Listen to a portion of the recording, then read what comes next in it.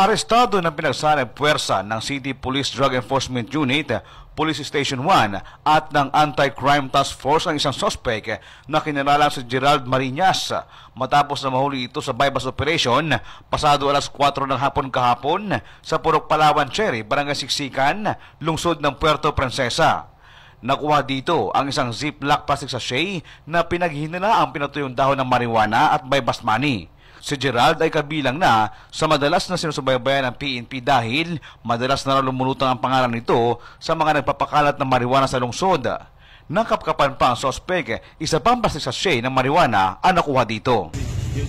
Nakuha rin po ako ng Yan po, may Suspected. na-recover pa po na position. marijuana. Sa Lalagay ko po ito sa drug evidence. Matapos nakapkapan ang sospek at nakuha na ang mga ebidensya, dito na tuloy ang inaresto ang sospek. Ngayon, ikaw ay aming binabasahan na inaresto ka namin sa sa anong pagbibenta ng droga. Uh, karapatan mo manahimik. Ano man ang iyong sabihin ay pwedeng gamitin laban sa iyo sa lahat ng tao dito sa Pilipinas.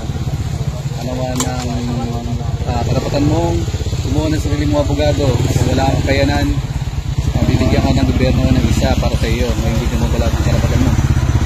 Kasong paglabag sa Republic Act 9165 o Comprehensive Dangerous Drugs Act of 2002 ang kakaharapin ng sospek. Ed Agarap, Basta Radyo, i-bandera mo.